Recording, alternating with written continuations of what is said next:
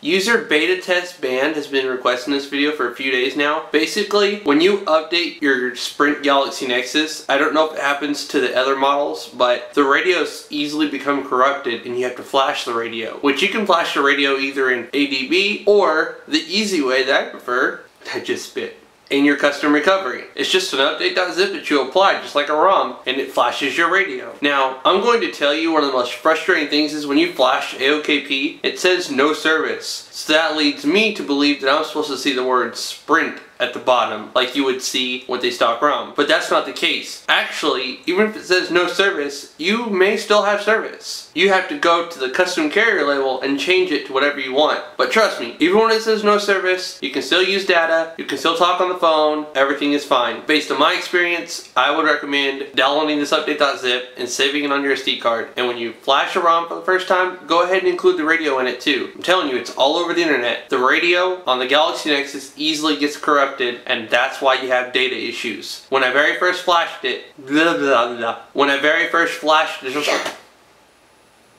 when I very first flashed it, I didn't have data and it took a good 5-6 minutes of the ROM being booted up for it to actually have data. Build 38, no issues at all. And I highly recommend AOKP over CM9 to be honest with you. There's nothing wrong with CM9. CM9's awesome and all, but when you go from AOKP to CM9, it feels so plain. There's not nearly as many options. You can't customize it the way you can with AOKP. It's just, I would use CM9 if AOKP wasn't available.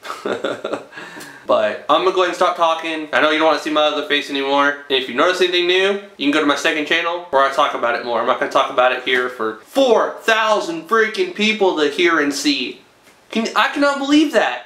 I'll put them up on the screen, but this person right here was actually my 4,000th subscriber. It's unreal. It's unbelievable. Huge shout out to Flossie Carter and Zedomax. You two, I just got another subscriber right now. This is ridiculous. Thank you so much for shouting me out in your video, Flossie Carter. And I'll tell you right now, your ROM review is better than mine, by far. Let's get to the video.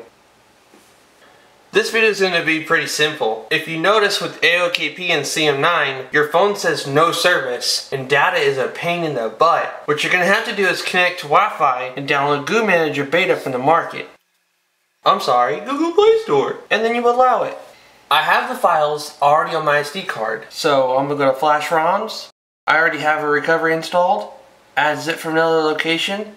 And the full radio zip right there. There it is, SD card, full radios. And then order flash selected. And flash. Yes.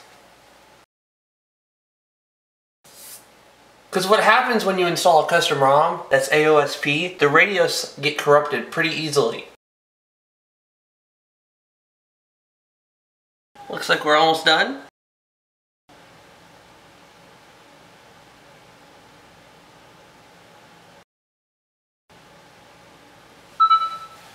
It still says no service, I didn't want to have to record like this, but I can't get screencast to work. It records sound, but no video. I tried it on normal and high quality. But anyways, when I bring down the notification bar, you'll see that it says Amy. To change that, you just press and hold right here, and it takes you to your settings.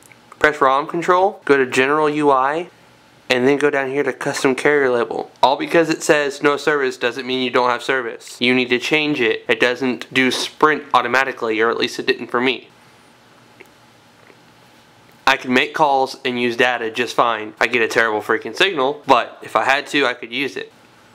There is no issues with Build 38 and data. If you like this video and it helps you out, please give it a thumbs up. If this is your first time watching one of my videos, please hit that subscribe button. This is What Would Josh Do and I'm out.